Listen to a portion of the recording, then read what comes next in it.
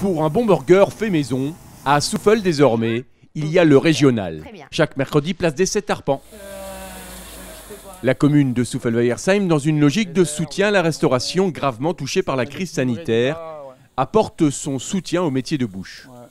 La commune a souhaité soutenir la restauration par plusieurs actions, euh, que ce soit les places euh, de resto euh, au marché gratuites, mais aussi l'implantation des food trucks où on est un petit peu plus flexible actuellement sur les horaires, les emplacements, ben, tout simplement pour accompagner ces périodes difficiles pour les acteurs économiques.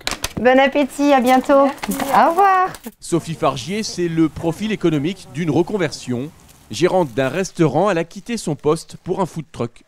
De devoir rester à la maison quand on a un travail aussi intense, parce que c'est pas évident la restauration, bah, je ne m'y voyais pas. Quoi. Donc de toute façon, il fallait que je fasse quelque chose. Et pour rester, je voulais rester dans ce milieu, hein, c'est mon métier. Hein, donc, euh, donc voilà, donc, euh, le food truck c'était le bon compromis, c'est ceux qui ont continué à travailler. Et puis voilà, et ça me plaît beaucoup.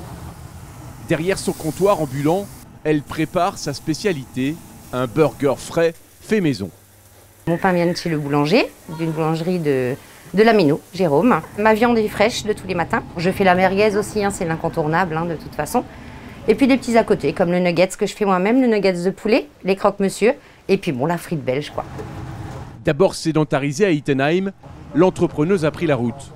Ittenheim, Haute-Pierre, Kaispolsheim et maintenant Souffel. C'est ma troisième semaine où je fais effectivement ce roulement et pour l'instant je suis plutôt satisfaite. Je m'accroche et je veux que ça marche et euh, bon pour l'instant c'est en bonne voie donc euh, oui, oui oui je suis contente.